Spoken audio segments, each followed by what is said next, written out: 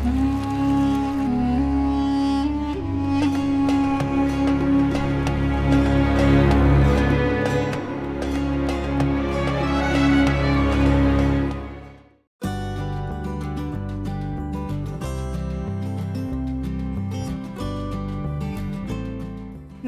धर्म के दर्शकों का हमेशा की तरह स्वागत है। मैं आपके साथ कविता राणा।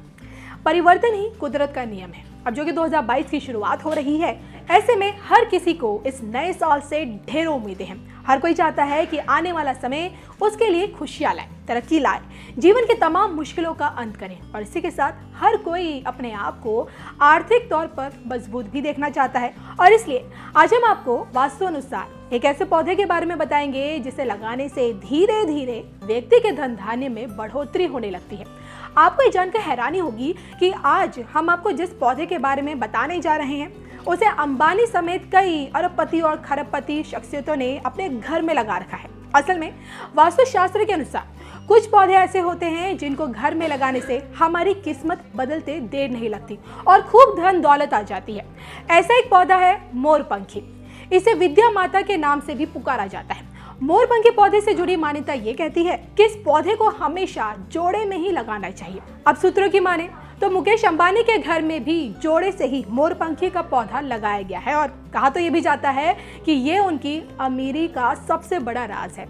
ऐसे ही कई अरबपति और खरबपतियों ने इसे अपने घर में लगा रखा है। अब कहा तो ये भी जाता है कि इस पौधे को घर में लगाते ही धीरे धीरे धन में वृद्धि होने लगती है और ये पौधा धन को घर में लाने का काम करने लगता है। और देखिए, जिस घर में ये पौधा होता है, वहाँ गरीबी कभी नहीं ठहर सकती है, क्योंकि मोरपंखी के पौधे को बहुत ही सौभाग्यशाली पौधा माना गया है। इससे पति पत्नी का रिश्ता भी काफ़ी गहरा रहता है और हमेशा दोनों लोगों में प्यार बना रहता है।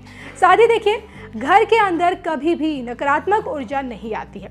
तो मोरपंखी पौधे का ज़िक्र देखिए हमारे शास्त्रों में भी किया गया है।